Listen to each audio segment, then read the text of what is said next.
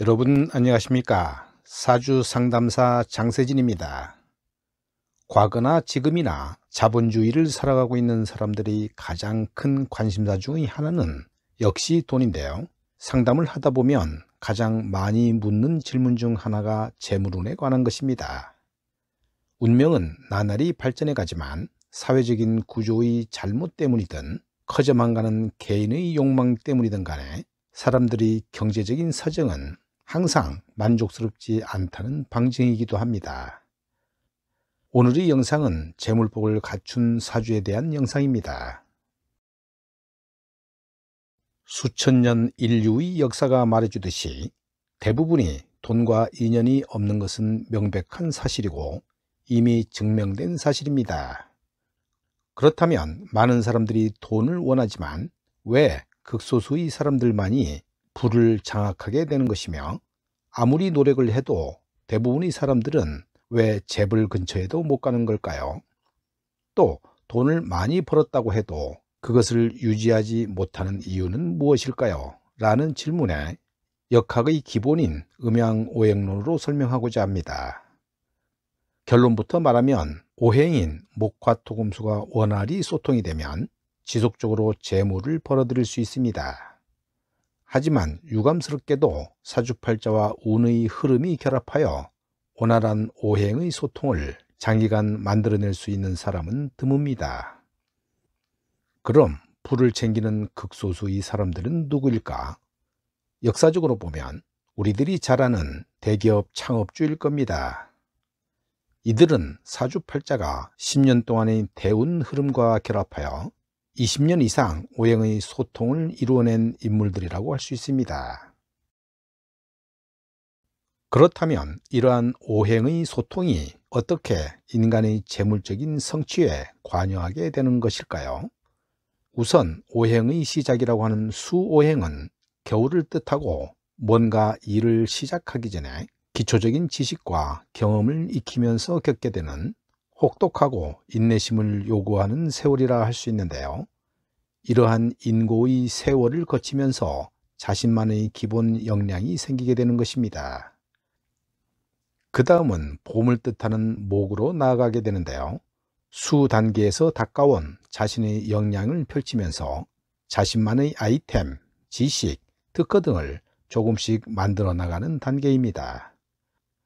다음으로는 목 단계에서 만들어낸 자신만의 것들을 이용하여 화려하게 마케팅하고 영업을 하면서 상업적으로 펼쳐나가게 되는데요.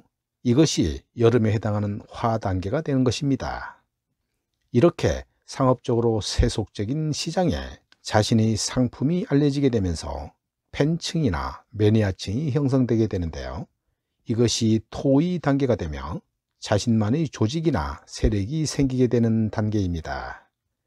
이렇게 형성된 자신만의 조직에서 지속적으로 부가가치가 높은 이익이 창출되는 단계가 가을에 해당하는 금의 단계라고 할 수 있습니다. 이러한 5단계의 과정들은 가만히 생각해보면 당연한 듯 보이지만 현실에서는 이러한 과정들이 무리 없이 진행되면서 금에 해당하는 부가가치가 높은 결과와 결실의 단계까지 진행되는 경우가 드뭅니다. 대부분 오행 소통의 부재로 인해 5단계 중에서 시작 단계 또는 중간 단계나 끝 단계에서 문제가 생기게 되는데요. 재물적인 소득이 줄어들거나 심지어는 손해를 보거나 망하는 과정을 경험하는 것이 대부분입니다. 현장에서 상담을 진행하다 보면 아주 쉽게 자신이 올해 재물운에 대해서 질문을 하는데요. 이 영상을 보시는 시청자분이시라면 앞으로는 자신이 재물을 묻기에 앞서 앞에서 설명한 수, 목, 과, 토, 금 5단계의 과정이 자신의 사주에 갖추어져 있는지부터 먼저 확인해 보시기를 권합니다. 현실을 열심히 성실하게 살아가고 있는 대부분의 사람들은 5단계 중 어느 부분에 문제가 있는지 스스로 알 수 있을 것입니다. 본인이 스스로 판단했을 때 이러한 과정 중 한 단계라도 부실하다면 돈 벌기가 쉽지 않은 일일 텐데요.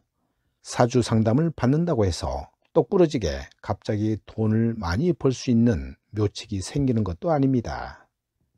사주 상담은 도깨비 방망이가 아니며 인간 세상의 보편적인 원리를 알려주는 과정이라는 것을 잊지 말았으면 합니다.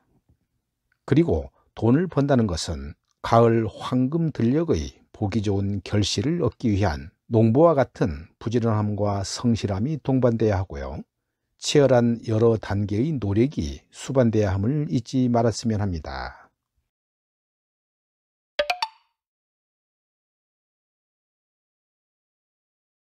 왼쪽 사주는 4월 개묘일주로 태어난 여명으로 제왕한 사주입니다.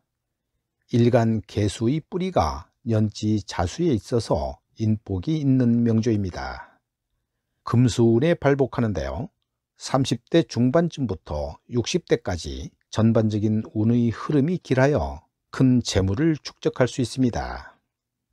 14 을묘대운과 24 갑인대운에 붙이는 노점상 본인은 포장마차를 하면서 근근히 입에 풀칠을 했다고 합니다.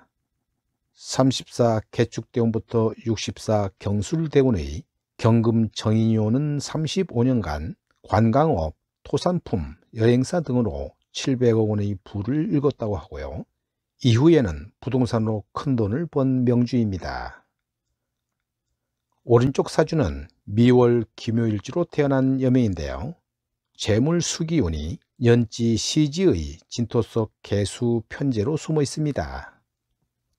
식상 금기운이 전혀 없지만 30대 이후 대운에서 들어오니까 연기를 포함한 연예 활동이나 모델, 방송, 연출 등 다방면에 관심을 두고 활동할 수 있습니다. 일지 묘목편관이 인연 닿는 남자인데요.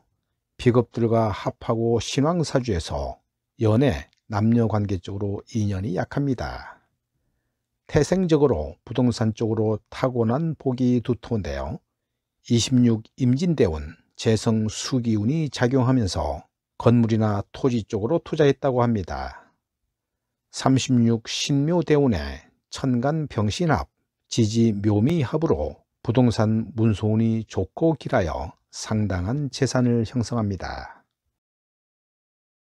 왼쪽 사주는 4월 이모일주로 태어난 여명으로 제격입니다. 일간 임수의 뿌리가 지지에 없으나 24 무신대운과 54 신해대운 이후 수기운이 들어옵니다. 월간 을목 상관과 시간 경금 편인이 을경합하여 모친과 사이가 좋으며 공부 해외 쪽과 인연이 있습니다. 14 정미대운은 주변 친구들과 원만하게 지내며 24 무신대운은 미국으로 유학하여 공부하는 시기입니다. 24 무신대운에 지지 신금 정의는 공부와 해외로 34 기후대운에 지지 유금 정의는 지지 사화와 사유합하여 연애와 유산 쪽으로 재물운이 작용합니다. 34 기후대운 병신년에 결혼했고요.